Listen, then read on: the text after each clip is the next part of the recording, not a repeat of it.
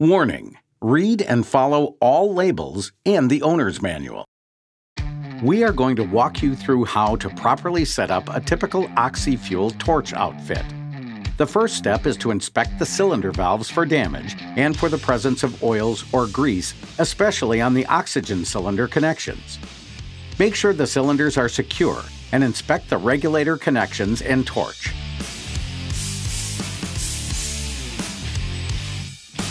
Check for nicks or damage to O-rings or other seating surfaces. At a minimum, reverse flow check valves should be installed in the system. Flash arresters with built-in check valves provide an even higher level of safety. The area where you'll be working should be well ventilated.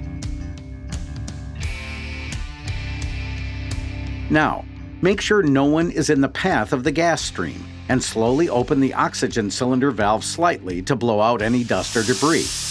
Dust or oil in an oxygen connection can be hazardous. Heat created by recompressing oxygen in the regulator when the cylinder valve is opened can cause dust or oil to burn, which could result in a regulator burnout or even an explosion. Now we'll attach and tighten the oxygen regulator to the cylinder. Position regulators at a slightly upward angle. That way, in the unlikely event that the adjusting screw were to blow out of the bonnet, it would be projected up away from the cylinder.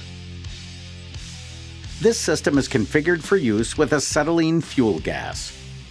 Make sure the connection is clean and install the fuel regulator.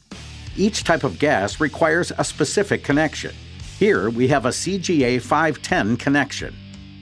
There are several different acetylene cylinder connections. Never use a regulator designed for one gas on a different type of gas cylinder.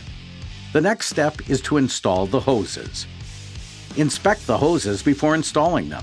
Worn or damaged hoses should be replaced. Notice that the fuel hose has a left-hand thread connection, as indicated by the groove in the fittings. You can now attach the hoses.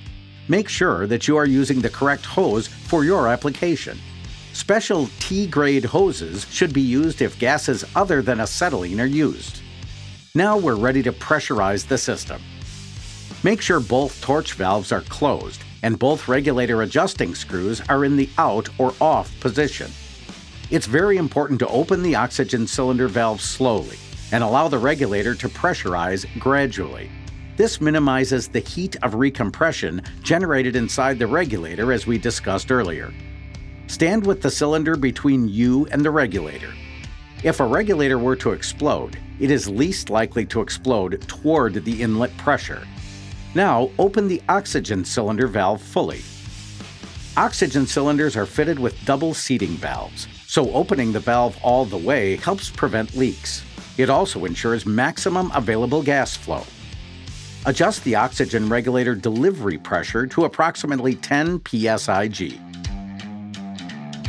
Next, open the acetylene cylinder about 3 quarter of a turn. That's enough to provide sufficient gas flow while at the same time allowing the cylinder to be shut off quickly in an emergency. If the cylinder valve requires the use of a key or wrench, be sure to keep it with the cylinder. Now, adjust the fuel gas delivery pressure to 10 psig. Leak test all connections with an approved leak test solution or oil-free soap and water.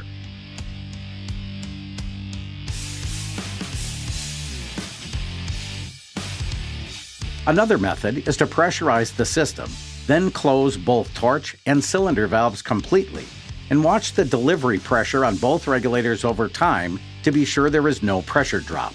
If a leak is found, it can usually be stopped by simply tightening the connection. If not, the equipment should be taken out of service immediately and repaired. Now, adjust the regulator delivery pressures appropriately for the tip being used. Pressure requirements vary by tip size, style, and manufacturer. Miller-Smith torch tip charts can be found in the manual supplied with every torch or at millerwelds.com. This oxyacetylene outfit is now ready to use. Be sure to check out the rest of the videos in our how-to video series to learn more about how to safely and effectively use oxy-fuel torches and other gas equipment.